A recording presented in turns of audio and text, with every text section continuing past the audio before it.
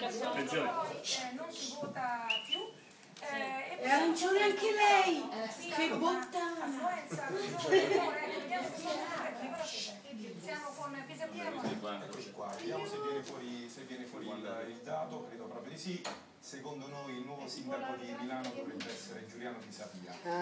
Dico dovrebbe perché dovrebbe avere comunque quei famosi 4 punti distacco dalla Moratti. Allora, in pool, lo vedete la nostra figura, Diegis Quattro. Pisa Detto, Pia dovrebbe avere più. il ballottaggio a Milano. Il condizionale è sempre d'obbligo, Assolutamente, Grandi. siamo con forza. Ora c'è Maria Maria finisce con la musica sotto e poi parte.